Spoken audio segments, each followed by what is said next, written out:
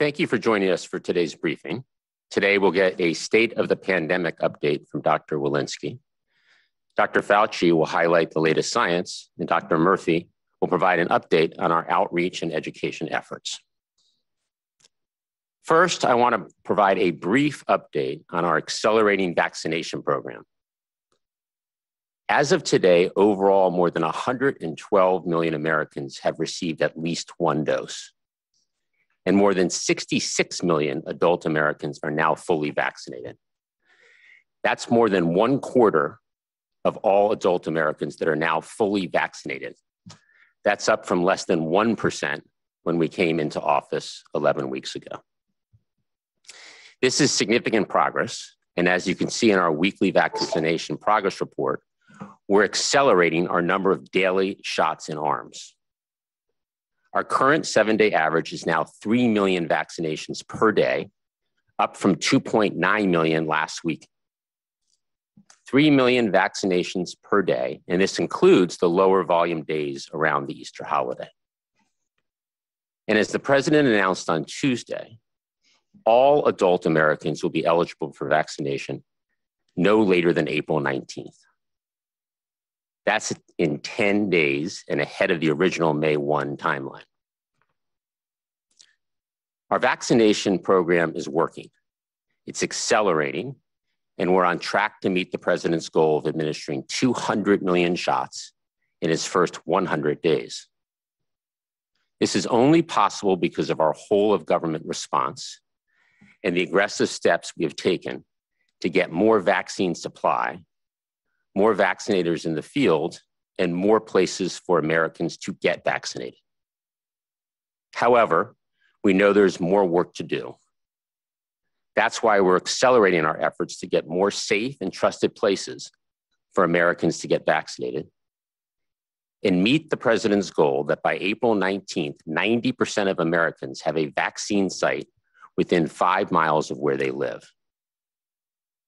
First, on the federal retail pharmacy program, as we expand to more pharmacies, millions of Americans are able to get their shot at their local pharmacy the same way they get their flu shot.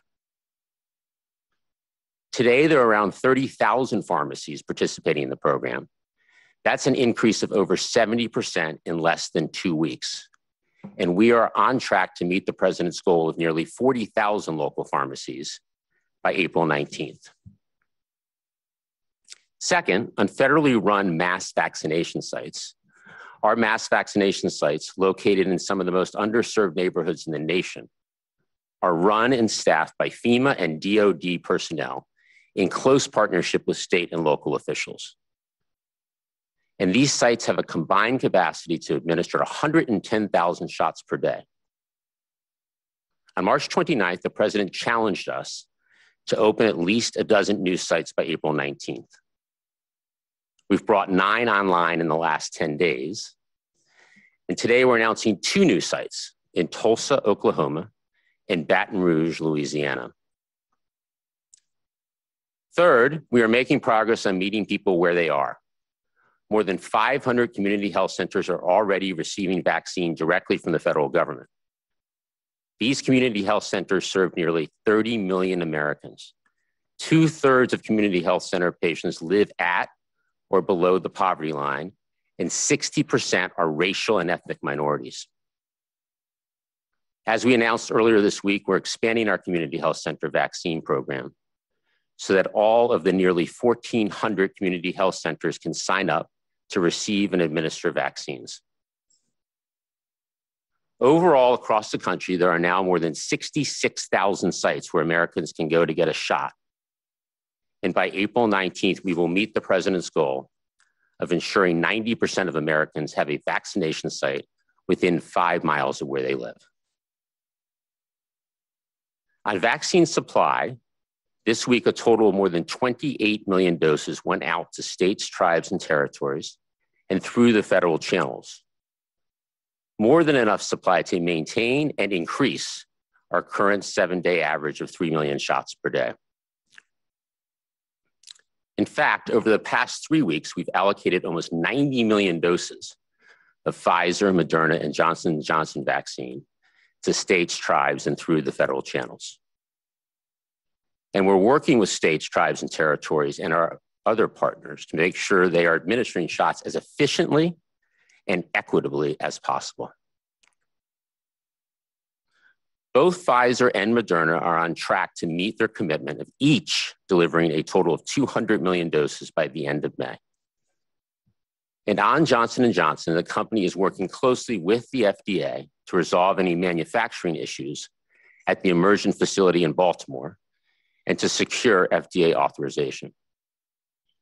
Johnson & Johnson is installing a new senior leadership team to oversee all aspects of production and manufacturing at the facility. And Johnson & Johnson will have full responsibility for the operation and will leverage the expertise of Merck as well. Johnson & Johnson expects a relatively low level of weekly dose delivery until the company secures FDA authorization. With FDA authorization, the company also expects a cadence of up to 8 million weekly doses in total across state and federal channels later in April. Importantly, Johnson & Johnson has also reiterated its commitment to provide at or near 100 million vaccine doses by the end of May.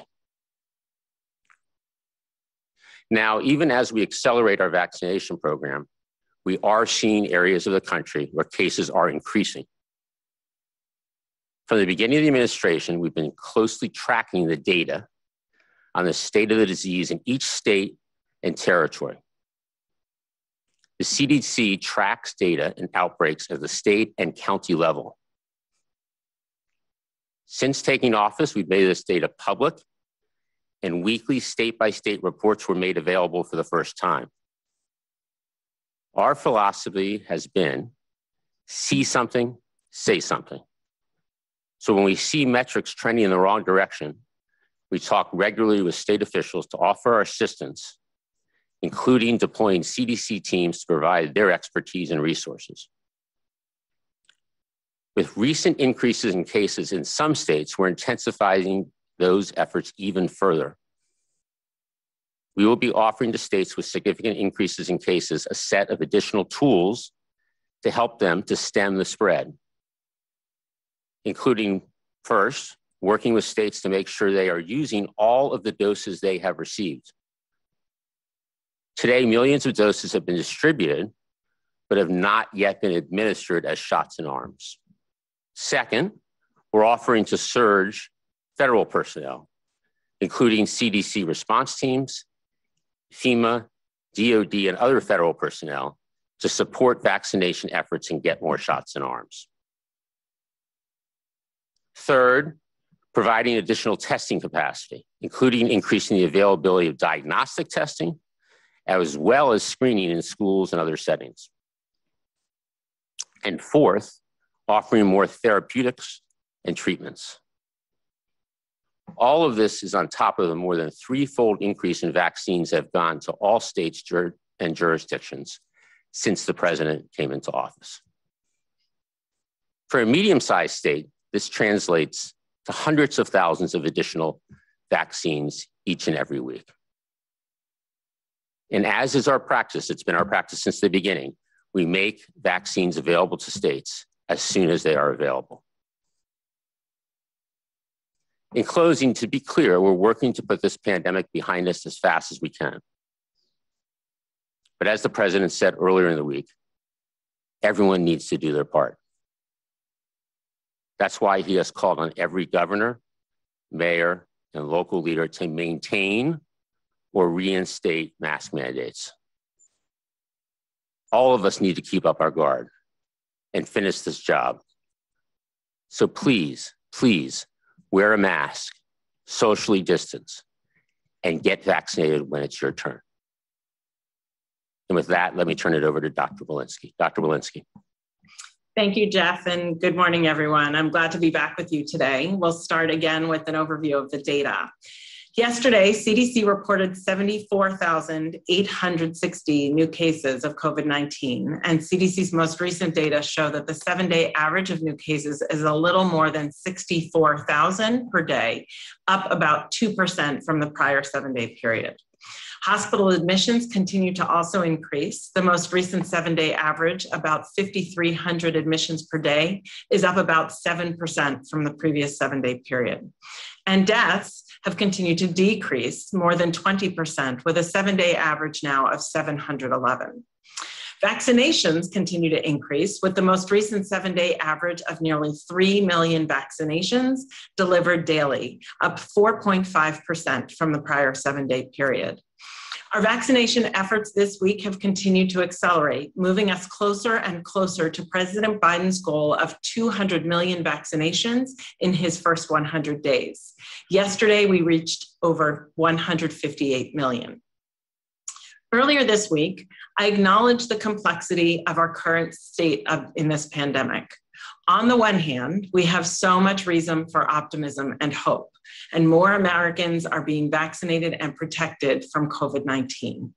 On the other hand, cases and emergency room visits are up. And as I've highlighted through the week, we are seeing these increases in younger adults, most of whom have not yet been vaccinated. On this graph are the national data showing the percent of emergency room visits for each age group that are for patients with confirmed COVID 19. As you can see, those 18 to 25 in orange, 26 to 54 in light blue, and 55 to 64 in green have increasing numbers of emergency department visits.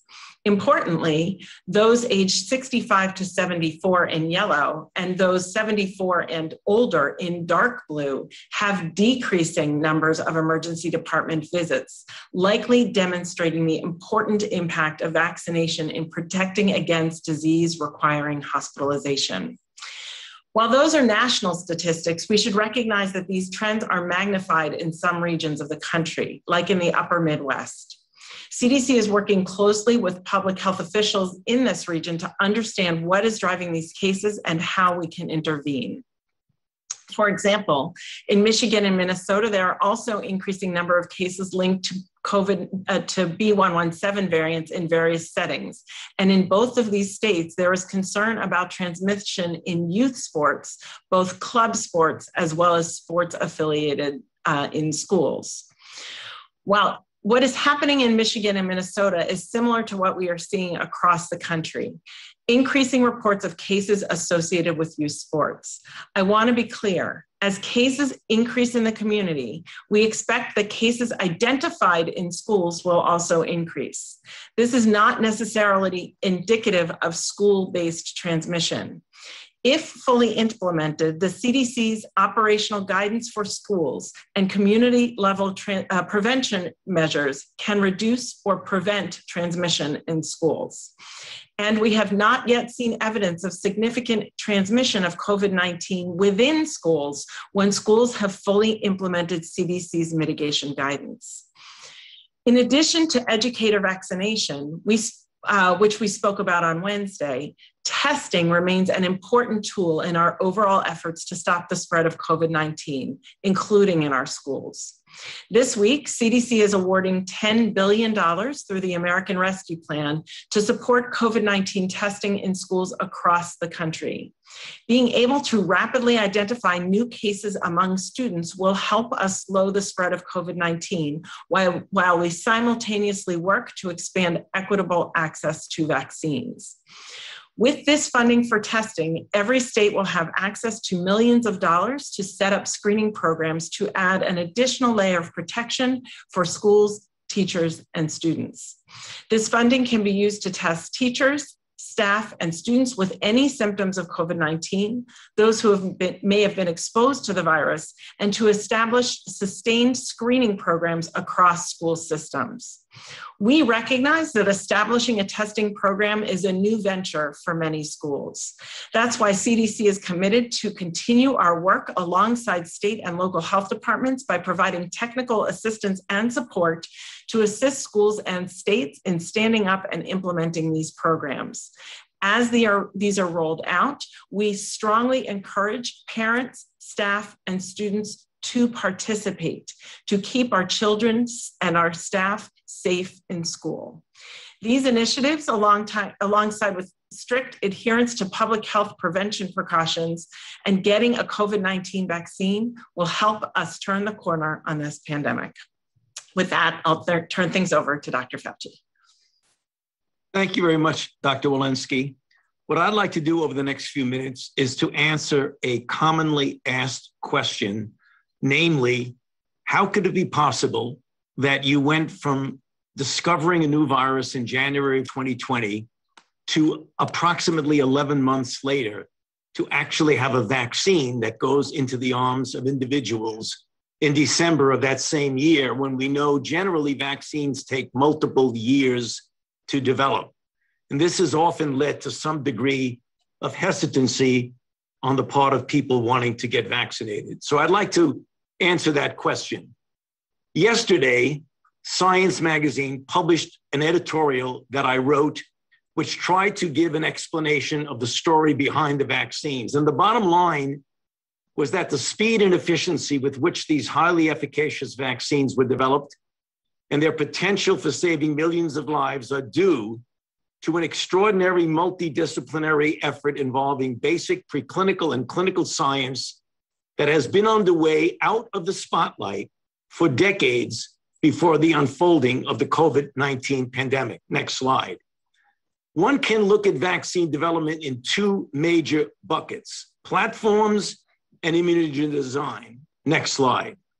With regard to a platform, what do we mean by that? Next slide. A platform is the type of vaccine that you use. There's genetic immunization, such as DNA and RNA, and hence the mRNA vaccines, viral vectors, such as the adeno with J&J, recombinant protein, such as Novavax, and a number of others shown on the right-hand part of the slide. Next slide. With regard to the mRNA vaccine, this work started a decade and a half ago when Katalin Karikó and Drew Weissman were working on RNA and was able to modify the molecule to remove a key inflammatory component, which would have made use of this as a vaccine impossible. This rather transforming accomplishment of theirs led to the use of mRNA as a platform. Next slide.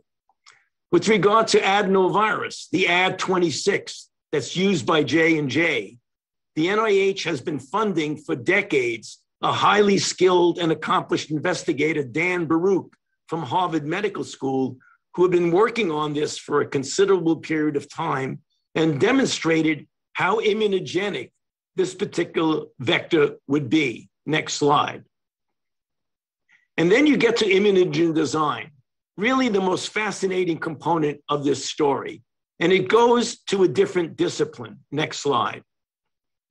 And that is the, crystal, the crystallography and cryo-EM capability of investigators throughout the country who were working to get the right conformation of the HIV envelope trimer. Nothing at all to do with coronavirus. They were using these technologies to get the most immunogenic conformation of the molecule to develop an HIV vaccine. Next slide. This work was done with great intensity also at the NIH Vaccine Research Center. And I've circled two investigators on this slide. The one on the lower left is Peter Kwong, who was predominantly an HIV investigator. And the one in the upper right is Barney Graham, who is much more interested in respiratory syncytial virus. Next slide. What Peter Kwong did is that he used this structure based vaccine design to get the right conformation of the HIV envelope in what's called a pre fusion form, which would be the most immunogenic and could bind to broadly neutralizing antibodies. Next slide. When Barney Graham took his interest in respiratory syncytial virus and collaborated in the same lab with Peter Kwong and Jason McLellan. They had a major breakthrough in respiratory syncytial virus vaccinology. by developing mutations that stabilized the immunogen to make it be used successfully for an RSV vaccine. But the story goes on. Next slide. When MERS came about, they did the same thing in an attempt to develop a MERS coronavirus vaccine, namely taking the spike protein and stabilizing it by mutations into a prefusion form. And then the culmination of the story, next slide, when we had SARS CoV 2 with Barney Graham and Kizzy Corbett and others in the laboratory were able to make a stable component of the prefusion spike protein. Why is that important? Because that's a highly immunogenic protein, which has been used in five of the six vaccines that we're currently involved with. Next slide. And so on this last slide, what you see on the left are the five platforms, the three platforms the nucleic acid mRNA, the adenovirus, and the recombinant protein. And with that, we already have three highly successful vaccines that have a high degree of efficacy and a good safety profile. So the bottom line is this did not happen in 11 months. It was, it was due to an extraordinary multidisciplinary effort involving basic clinical and preclinical science that had been underway out of the spotlight for decades before the unfolding of the COVID 19 pandemic. And with that, I'll pass it over to Dr. Murthy. Well, th- thank you so much, Tony. And it's good to be with all of you this morning. Before I start, I just want to take this opportunity, even though it's a few days late, to wish Dr. Rochelle Walensky a happy birthday. Her birthday birthday was on April 5th. And uh, Rochelle, I will spare you my rendition of happy birthday. I don't think anyone would appreciate that, but happy birthday nonetheless from all of us. I, I want to just uh, take a moment today uh, to talk a little bit about uh, where we are with vaccine confidence and with our education campaign. Uh, you've heard a lot from us about the state of the COVID pandemic. We've talked about it in terms of cases and hospitalizations and vaccination numbers. But I want to start today just by sharing with you a little bit more about what we've learned about the toll of the COVID 19 pandemic. For many Americans, this pandemic has not only impacted our physical health and well being, but also the mental health and well being of our children. Uh, this week, we learned, for example, that an estimated 40,000 children in America lost a parent to COVID 19, according to a new model from researchers. This week, scientists found that one in eight people with COVID 19 were diagnosed with a new psychiatric or neurological condition in the following six months and anxiety and depression were among the most common conditions. Millions of people are experiencing symptoms of anxiety and depression right now. And research from the CDC uh, has showed that younger adults, racial and ethnic minorities, essential workers, and unpaid adult caregivers have experienced disproportionately worse mental health outcomes during this pandemic. Now, these numbers are sobering, but they are not altogether surprising because many of you know intuitively of these struggles. Maybe you or a loved one has been wrestling with mental health challenges. Uh, we may not talk about them uh, as often, but we're experiencing them nonetheless. And the administration is taking mental health challenges related to the pandemic seriously. Uh, it has provided nearly $3 billion to states and territories to address mental illness and addiction crisis. And the American Rescue Plan included around 3.56 billion for the prevention and treatment of mental health and substance use disorders. The mental health consequences of COVID are yet another reminder why people getting vaccinated is so important. It's our quickest path to ending the pandemic. And for all the suffering that COVID 19 can bring, I've also personally seen firsthand the joy and relief that vaccines can bring. Uh, just yesterday, in fact, a friend sent me a picture of her two children hugging their grandmother for the first time in 16 months. And she wrote three simple words in her text hugs are back. And I myself find that I breathe easier each day seeing my father my sister go to their medical office to care for patients because I know that they are vaccinated. And when I received my own second dose not too long ago, I felt a wave of hope that I hadn't experienced in months. These vaccinations were made to help us return to our lives and to the people that we love. And that's why the president has asked that by April 19th, just 10 days from now, all adults be eligible for the vaccine. Now, as more and more Americans gain access to the vaccine, I'm happy to share that vaccine confidence is rising across the country. In December, a survey that showed that 34% of respondents were ready to get a COVID vaccine, quote, as soon as possible, end quote. That same survey in March, just three months later, found that 61% of people reported either already being vaccinated or wanting to receive a vaccine as soon as possible. This is an encouraging trend, but we still have more work to do. Millions of people still have questions about the vaccine, and misinformation and disinformation continues to spread. That is why we are working hard to give people the facts about COVID 19 through a variety of channels, the most important of which is trusted messengers. The research tells us clearly that people want to hear from people they know and trust when deciding about the vaccine. For example, a survey in January showed that more than three in four adults in the United States have said they would likely turn to a doctor or nurse or other healthcare provider when deciding whether to get the vaccine.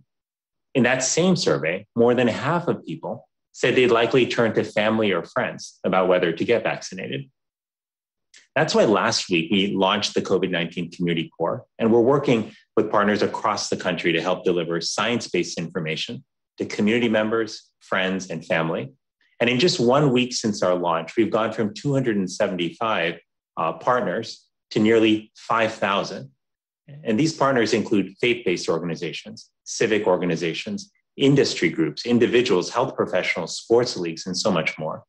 In the last week alone, I've heard stories about doctors and nurses who are now going door to door to help people learn about the COVID 19 vaccines. I've heard about churches setting up vaccine education and administration sites in their building. I've met grandparents who are now talking to their kids and grandkids about the importance of getting vaccinated. To end this pandemic, this is what we have to do. We've got to step up and help protect one another. And that's why today I'm asking everyone to do two things. One, get vaccinated as soon as you can.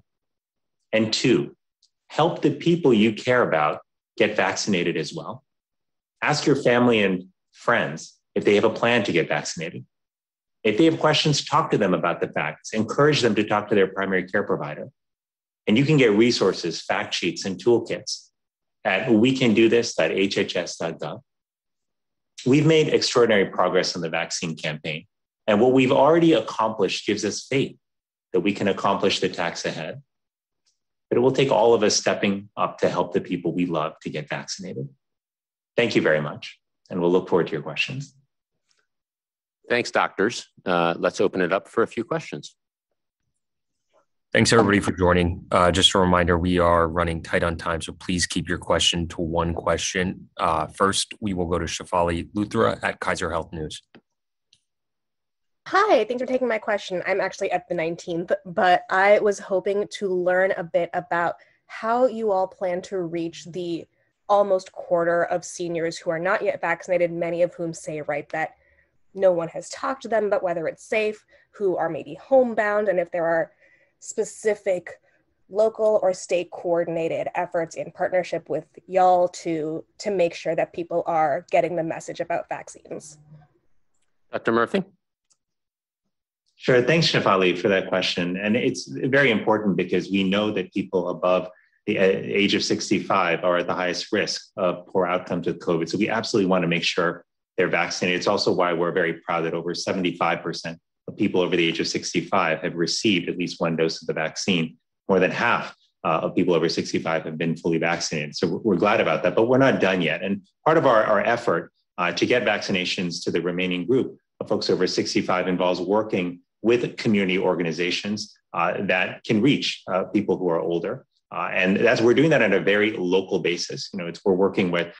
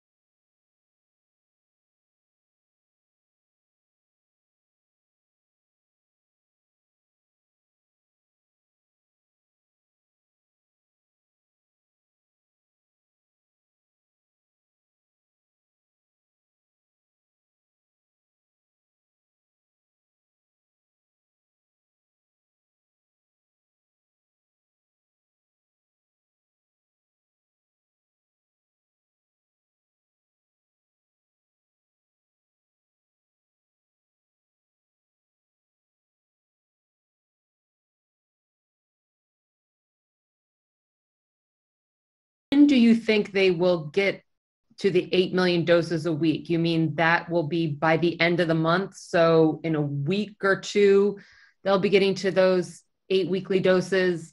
And when do you think there will be that FDA authorization? Um, just to make sure we're all clear on that um, based on Josh's question. And then just bigger picture, I know this has come up a number of times and you were just talking about things you're doing for the states, but could you explain why, again, you're not going to shift any additional doses to these states like Michigan or New Jersey? Why not get even more doses to them now? Is it because you feel they have the, enough doses, they're just not getting them to the areas that they need them, or to the, the the people just aren't being receptive to taking them?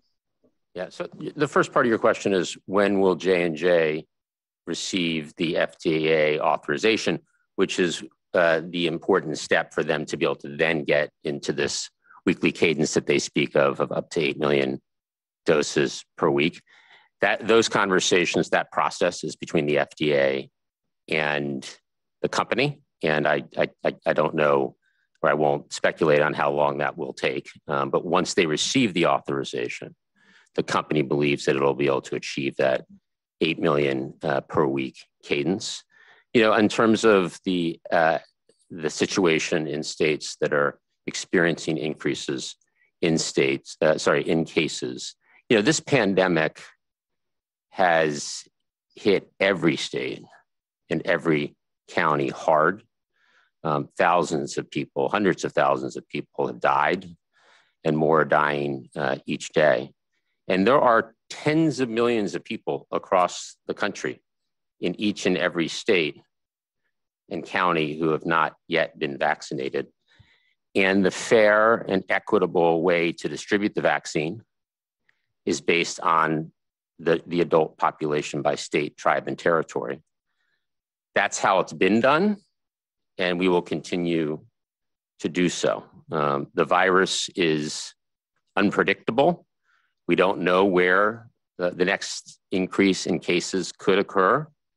And you know that we push out all vaccine as, as soon as it's available. Um, and we're not even halfway through our vaccination program. So now is not the time to change course on vaccine allocation. We're going to stick with the allocation system of um, allocating by state adult population.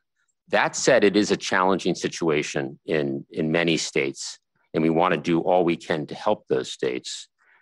And that's why we're working with states to make sure that every dose that they do receive is administered as efficiently and equitably as possible.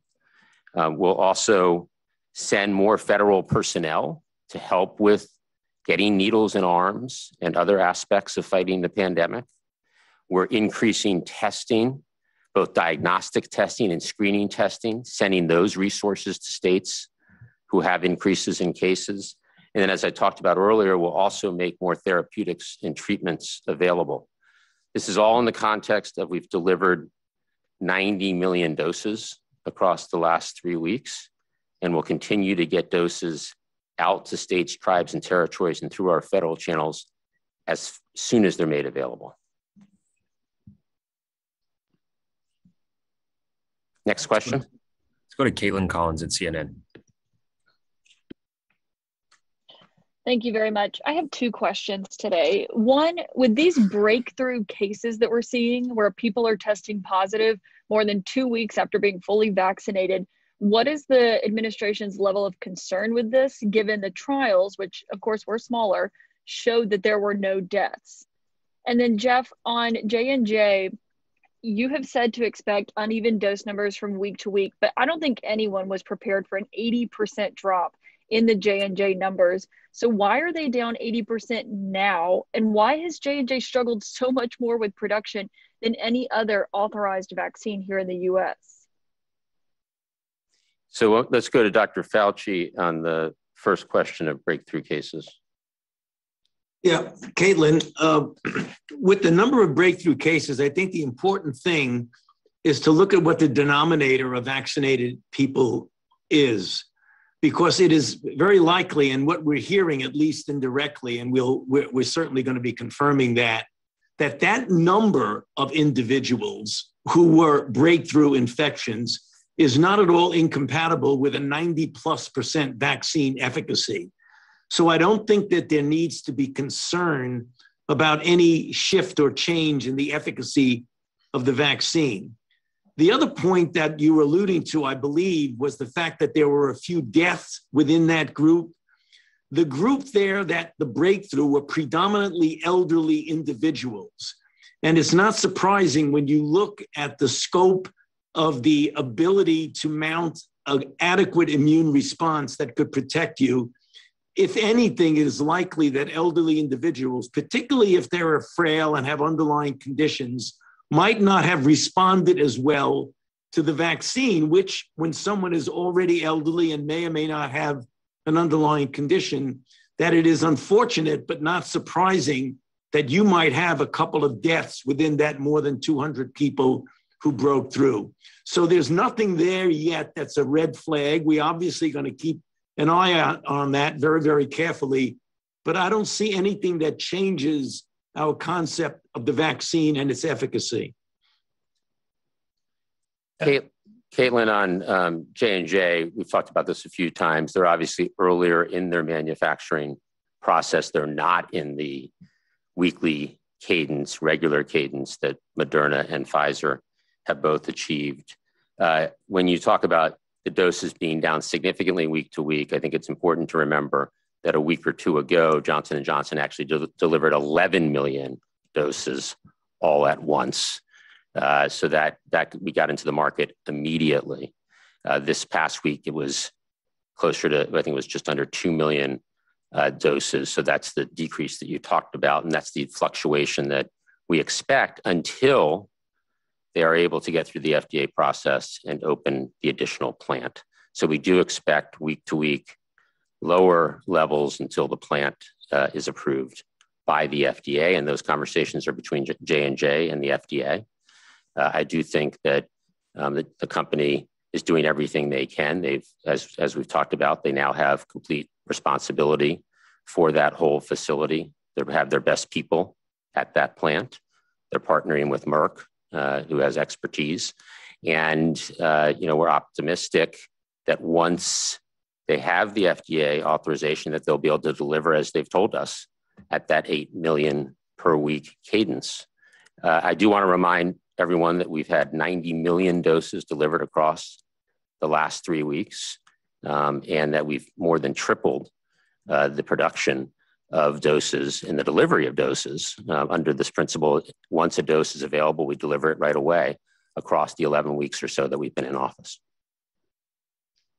Jeff, may I add one one thing just to Kaitlan's question uh, about the vaccine efficacy? Just to build on what Tony said, we still have high confidence that these vaccines are effective, but because they are not perfect, is precisely why we are still urging people to be cautious. It's why we still have such an emphasis on getting the overall case numbers down, uh, which mean which we can only do by vaccinating and by making sure that people, until we have a critical mass vaccinated, are wearing masks, keeping distance, washing their hands, avoiding indoor gatherings. Um, so just want to emphasize, we have great confidence in vaccines. We understood they weren't perfect, but that's precisely why we've got to be careful uh, in our approach until we hit uh, a critical threshold of vaccination in our country. Why don't we have time for one more question? Last question, we'll go to Liz Weise at USA Today. Hey, thanks so much for taking my question. Um, on a slightly different note, I realize herd immunity is a somewhat problematic term, but given the data we're seeing out of Israel and plummeting death and illness rates, where do you think the US will need to get in terms of vaccination to start to see that kind of payoff? And is anything like herd immunity possible here? Dr. Fauci? Yes, I think you said it correct that correctly that herd immunity is kind of an elusive terminology because we don't know what that percentage of protection is, which will be a combination of people who are protected by vaccination as well as those who were infected, who have recovered and now have protective immunity. Again, we can only surmise what that is. I've said in the past, and it's purely an estimate that that would be somewhere between 70 and 85%. I think we need to get away from waiting from this mystical, elusive number and just say to get as many people as we possibly can get vaccinated as quickly as possible.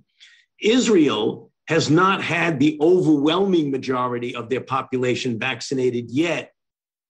However, they are seeing a very, very beneficial effect already.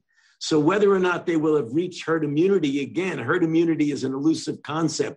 The one thing we do know that Israel is a classic example is that as you get people vaccinated, you're going to start seeing diminution in number of cases, which will be followed by diminution in hospitalizations, which will inevitably be followed by diminution in deaths.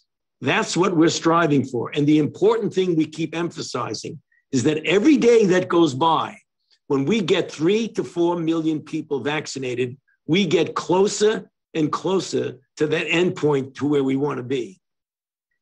And it was, in fact, part of the reason that I showed that slide of emergency department visits to show in the areas where we have a majority of people vaccinated in these demographics that are greater than 65, we can already in this country see those effects with decreased in hospitalizations. Well, thank you, everybody. I mean, the clear message here is get vaccinated when it's your turn.